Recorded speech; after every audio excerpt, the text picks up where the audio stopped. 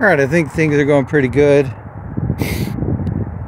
Got the sill plate all laid, uh, laid out and made the cuts necessary for everything to fit in line, so that's good.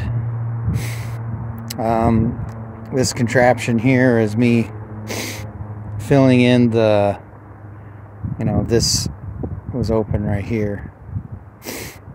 So I C clamped some boards on here.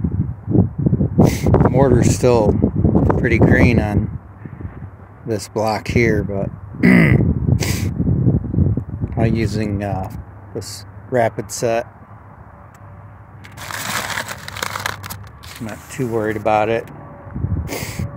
Um, just for holding that little bit of pressure. I just put some mortar in there just to fill in the little cracks that we want to come out the bottom.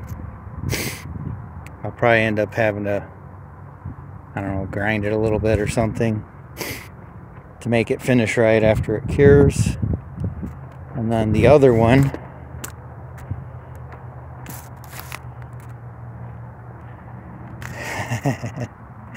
some rather fat uh, head joints on this one just to fill it in. I don't know. I just thought it would be the best thing. Easiest and gets it closed up. So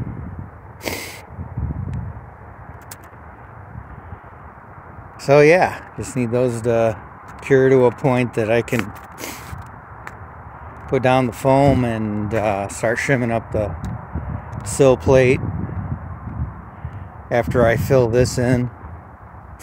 Still have some mortar mix to uh, to use up, and then I'll use the uh,